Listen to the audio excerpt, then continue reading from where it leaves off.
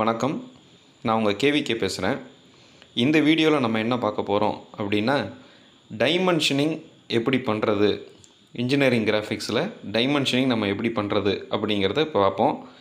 எப்போ இதில் உங்களுக்கு என்ன கொடுத்துருப்பாங்கன்னா கொஸ்டின் பேப்பரில் ஒரு இன்கரெக்டு வே ஆஃப் டைமென்ஷனிங் வந்து கொடுத்துருப்பாங்க கொஸ்டின் பேப்பரில் நீங்கள் அதை கரெக்ட் பண்ணி வரையணும். இப்போ இருக்கிற கேசஸ் எல்லாம் ஒன் பை ஒன்னாக பார்ப்போம் டைமென்ஷனிங் ரூல்ஸில் இப்போ மொதல் கேஸ் பாருங்கள் இப்போ லெஃப்ட் சைடு இருக்கிற டயக்ராமை பாருங்கள் இதில் அளவு வந்து எங்கே குறிச்சிருக்காங்க? ஆப்ஜெக்ட்டுக்குள்ளே குறிச்சிருக்காங்க. இது மாதிரி குறிக்கக்கூடாது. இது தப்பு. அப்போ எப்படி நம்ம சரியாக குறிக்கணும் அப்படின்னா டைமென்ஷனை வந்து ஆப்ஜெக்ட்டுக்கு வெளியில் குறிக்கணும். இங்கே குறிச்சிருக்காங்க பார்த்தீங்களா இருபத்தஞ்சி பதினஞ்சுன்னு. அப்போ இது வந்து கரெக்டு இது ஃபஸ்ட்டு ரூல் டைமென்ஷன் ஆப்ஜெக்ட்டுக்குள்ளே குறிக்கக்கூடாது அடுத்த செகண்ட் ரூலை பாருங்கள் ஒன்றுக்கு மேற்பட்ட டைமென்ஷன் வரும் படத்தில். அப்போ ஒரு டைமென்ஷன் லைனும் இன்னொரு டைமென்ஷன் லைனும் கிராஸ் பண்ணக்கூடாது. அப்போ இந்த மாதிரி டைமென்ஷன் பண்ணிங்கன்னா இது தவறு.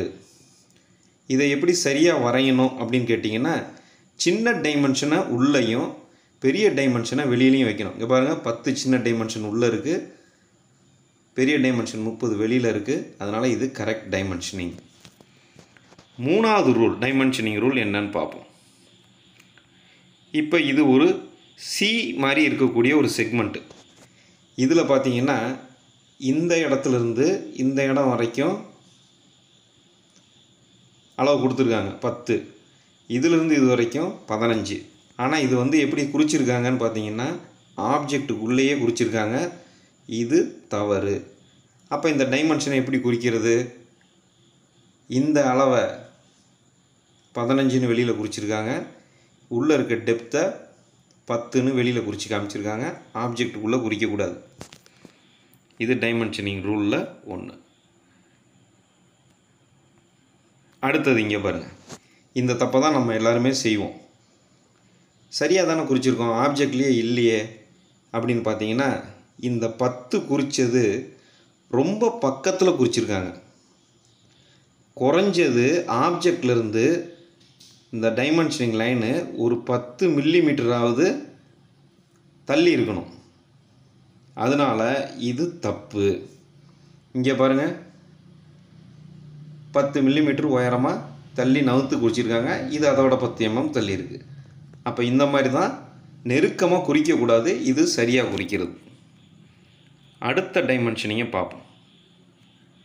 இப்போ இதை பாருங்கள் மூணு அளவு கொடுத்துருக்காங்க. இது ஒரு பத்து இது ஒரு பத்து இது ஒரு பத்து. இப்போ இதை எப்படி குறிக்கணும் அப்படின்னா ஏதாவது ரெண்டு அளவை குறிச்சிட்டு மொத்தமாக இன்னொரு அளவை சொல்லிடணும். இங்கே கவனிங்க இது மாதிரி குறிக்கிறது தப்பு. வரிசையாக ஒரே இது ஒரு பத்து இது ஒரு பத்து இது ஒரு பத்துன்னு குறிக்கக்கூடாது. இங்கே ஒரு பத்து இங்கே ஒரு பத்து இந்த இடத்துல எதுவும் குறிக்கல. அதுக்கு பதில் எனக்கு குறிச்சிட்டாங்க? மொத்தமாக முப்பதுன்னு குறிச்சிட்டாங்க. அப்போ மீனிங் என்ன? பத்து பத்து இருபது போச்சுன்னா இந்த இடம் இந்த இடத்துல வந்து ஒரு பத்து இருக்குன்னு அர்த்தம். ஆனால் குறிக்கல. குறிக்கக்கூடாது. அப்போ ஒட்டு மொத்தமாக முப்பதுன்னு குறிச்சிட்டாங்க. This is correct way of dimensioning அடுத்தது பாருங்கள் இது எல்லாமே கரெக்டாக இருக்கே அப்படின்னு பார்க்கலாம். ஆறு பதினெட்டு முப்பது. இது மூணு ஒரே நேர்கோட்டில் வர்ற மாதிரி குறிச்சிருக்காங்க. இது மாதிரி குறிக்கக்கூடாது தப்பு. அப்போ இதை எப்படி குறிக்கணும்? ஆறு இந்த பக்கமும் பதினெட்டு கொஞ்சம் தள்ளியும் அதை விட தள்ளி முப்பதும். இது எதுக்காக அப்படின்னு கேட்டிங்கன்னா எந்த அளவுன்னு கன்ஃபியூஸ் ஆகக்கூடாது. படம் ப படத்தை பார்த்து நம்ம அளவு எடுக்கும்போது. அப்போ கொஞ்சம் நவுத்தி நவுத்தி குறிக்கணும். இது கரெக்ட் வே ஆஃப் டைமென்ஷனிங் அடுத்தது ஆ இங்கே ஒரு ரெண்டு வியூ கொடுத்துருக்காங்க. இந்த வியூக்கு பேர் என்னென்னா ஃப்ரண்ட் வியூ இந்த வியூக்கு பேர் என்னென்னா டாப் வியூ இப்போ இங்கே நடுவில் இருக்கிற இந்த கேப்பை டாப் வியூவில் குறித்து காமிச்சிருக்காங்க. அதாவது ஹிட்டன் லைனில் குறித்து காமிச்சிருக்காங்க. அது மாதிரி ஹிட்டன் லைனில் குறிக்க குறிக்கக்கூடாது ஃப்ரண்ட் வியூவில் தான் குறித்து காமிக்கணும். கீழே இருக்கிறது டாப் வியூ மேலே இருக்கிறது ஃப்ரண்ட் வியூ அப்போ எந்த ஒரு அளவையும் ஹிட்டன் லைன் ஹிட்டன் லைன்னா இங்கே பார்த்தீங்கன்னா டாட்டர் லைனாக இருக்கும். இதுதான் ஹிட்டன் லைன் இந்த ஹிட்டன் லைனில் குறிக்கக்கூடாது இது தப்பு. அப்போ எப்படி குறிக்கணும்? ட்ரூ லைனில் குறிக்கணும். ஆப்ஜெக்ட் லைனில் இங்கே பாருங்கள் இந்த பத்தை இங்கே குறித்து காமிச்சிருக்காங்க அது கரெக்டு இங்கே குறித்து காமிச்சா அது தப்பு. ஃப்ரண்ட் வியூவில் குறித்து காமிச்சிருக்காங்க. இட் இஸ் கரெக்ட் அடுத்தது பாருங்கள் ரெண்டு ஹோல் இருக்குது ரெண்டு ஹோலோட சென்டர் டு சென்டர் டிஸ்டன்ஸ் பதினாலுன்னு குறிச்சிருக்காங்க. ஆனால் எங்கே குறிச்சிருக்காங்கன்னு பார்த்தீங்கன்னா ஆப்ஜெக்ட்டுக்குள்ளே குறிச்சிருக்காங்க. அது தப்பு. இங்கே இருபதுன்னு போட்டிருக்காங்க. எதுலேருந்து எது வரைக்கும்னு சொல்லலை. அதனால் தப்பு. இப்போ இதை சரி பண்ணி எப்படி வரைஞ்சிருக்காங்கன்னு பாருங்கள் ஆப்ஜெக்ட்டுக்குள்ளே இருக்கக்கூடாது. இந்த டைமென்ஷனை வெளியில் எடுத்து பதினாலு கொடுத்துட்டாங்க. எதுலேருந்து எது வரைக்கும்னு இங்கே கொடுக்கல. இங்கே வந்து என்ன பண்ணியிருக்காங்க குறித்து காட்டியிருக்காங்க. So this is correct way of dimensioning இங்கே பாருங்கள் இது முக்கியமாக நம்ம தெரிஞ்சுக்க வேண்டியது. ரெண்டு ஹோல் இருக்குது என்னால் ஜூம் பண்ணி பார்ப்போம். இந்த ஹோலோட சர்க்கம்ஃபரன்ஸ் அவுட்டர் சர்க்கம்ஃபரன்ஸ்லேருந்து அளவெடுத்து குறிச்சிருக்காங்க. இந்த மாதிரி குறிக்கவே கூடாது. சர்க்கிளை பொறுத்த வரைக்கும் டயாமீட்டர் டு டயாமீட்டர் தான் சென்டர் டு சென்டர் தான் குறிக்கணும். இப்போ இங்கே பாருங்கள் இதே அளவை இங்கே எப்படி குறித்து காமிச்சிருக்காங்க? இங்கே எட்டுன்னு குறிச்சிருக்காங்க. ஆனால் ஹோலோட டயாமீட்டர் இங்கே பாருங்கள் எவ்வளோ இருக்குது ஆறுன்னு கொடுத்துருக்காங்களா? அப்போ இந்த பக்கம் மூணு இந்த பக்கம் மூணு. அப்போ எட்டு மூணு மூணு. பதினாலு. சென்டர் டு சென்டர் டிஸ்டன்ஸு பதினாலு. அப்போ அந்த பதினாலை இங்கே எப்படி குறித்து காமிச்சிருக்காங்க பாருங்கள் இந்த சென்டர்லேருந்து இந்த சென்டர் வரைக்கும் பதினாலுன்னு குறித்து காமிச்சிருக்காங்க. கீழே டயாமீட்ரு குறிக்கல. அதுக்கு பதிலாக டயாமீட்ரு சிக்ஸு டூ ஹோல்ஸுன்னு குறிச்சிட்டாங்க. இந்த மாதிரி குறிக்கிறது சரியான மெத்தடு இந்த மாதிரி குறிக்கிறது தவறான மெத்தடு அடுத்தது இங்கே வாங்க. இப்போ வந்து ஒரு ஆப்ஜெக்ட்டுக்குள்ளே ஒரு டேப்பிங் இல்லை மறைய ஏதோ ஒன்று போட்டிருக்காங்க. இதை இந்த மாதிரி பதினஞ்சுன்னு குறித்து காமிக்கக்கூடாது அப்போ என்ன பண்ணிடணுன்னா இதோட எண்டு வியூ இது வந்து டாப் வியூவாக இருக்கலாம் இல்லைன்னா சைடு வியூவாக இருக்கலாம். டாப் வியூவாக இருக்கலாம். இங்கே பாருங்கள் இதையே என்ன பண்ணியிருக்காங்க இந்த டயாமீட்ரு நாலுன்னு குறிச்சிட்டாங்க. ஆனால் டீப் ஃபிஃப்டீன் அப்படின்னு கொடுத்துட்டாங்க. அப்போ எவ்வளோ ஆழங்கிறத சொல்லிட்டாங்க. இந்த மாதிரி லென்த்து வைஸாக குறித்து காட்டக்கூடாது. So this is wrong method this is right method அடுத்தது பாருங்கள் இதில் ரெண்டு வியூ இருக்குது இங்கேயும்.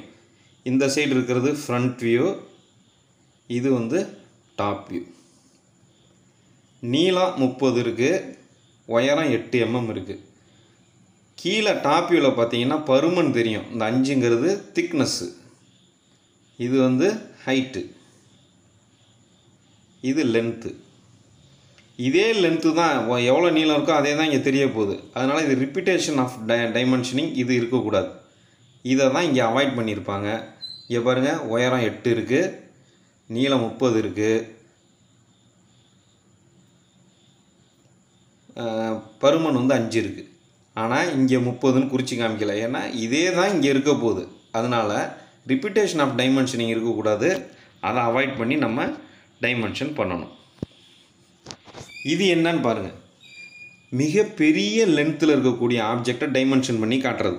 அப்போ இப்போ கிட்டத்தட்ட இரநூறு மில்லிமீட்ரு அப்படின்னு வரையினீங்கன்னு வச்சுங்க. இரநூறு மில்லிமீட்ரு வரைய வேண்டியதில்லை இப்போ ஒரு ஸ்க்ரூ ஜாக் படம் வரைகிறீங்க அதோட ஹேண்டில் இப்போ முந்நூறு மில்லிமீட்டர் இருக்குது அப்படின்னா முந்நூறு மில்லிமீட்டர் கோடு போடணுன்னு அவசியம் இல்லை. இந்த மாதிரி பிரேக் லைன்ஸ் பண்ணி காமிக்கலாம்.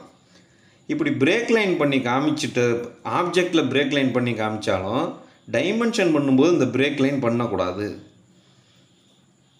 அது தொடர்ச்சியாக தான் இருக்கணும். அதனால் இந்த மாதிரி தான் டைமென்ஷன் பண்ணணும்.